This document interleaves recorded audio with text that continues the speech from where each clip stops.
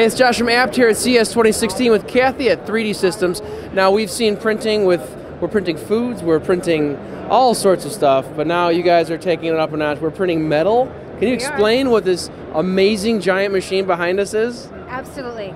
This is the new ProX DMP 320. This is a direct metal machine that was actually grown up using over 500,000 parts printed and 10 years of experience to launch a fully utilizable 3D printer for direct metal, focused on titanium in particular, and or there's a second version that's focused on Inconel and stainless and those other kinds of metals.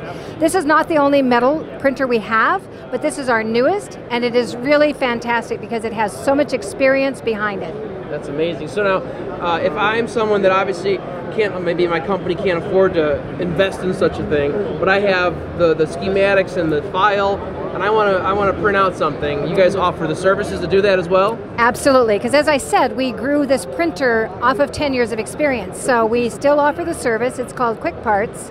You go online, you upload your file, we'll quote it, we'll print it, we'll ship it directly to you. Anywhere in the world, it's a global footprint. We have all of our direct metal printers, we have SLA, we have SLS, anything you can think of, we can print for you That's on really demand. Amazing.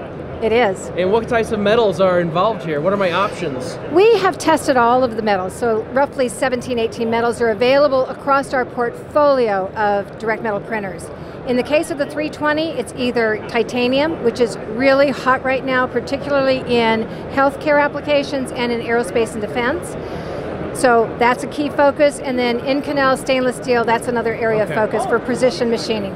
Really amazing. Now, Yeah. these other machines I've seen that you've got the, the parts laying down the filament, the resin one was pulling up out of the, the resin material. Uh, let's get technical. How is it creating the actual object?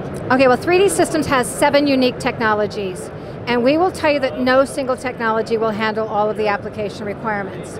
So you mentioned a couple of technologies. We do SLA, we do SLS, we do PJP or extrusion-based printing. We do powder-based printing with food, with full color. We do selective laser sintering, which is powder, but it uses a laser. This is direct metal printing. So instead of a liquid, you're back to a powder. It is a pulverized metal powder of super high quality. We then take a laser, fairly high wattage, and we have a thin layer of powder. We laser the cross section of the part, another thin layer of powder, next cross section, and you just keep building until your part is complete. The beauty of that is any unsintered powder is reusable, and then your finished part comes out. You remove it from the build platform, and you're ready to go. In a machine of this caliber, am I printing one small object at a time? Uh, or do I have more room to be simultaneously printing more? You have quite a bit of build envelope here, and you can build multiple pieces, you can build larger parts.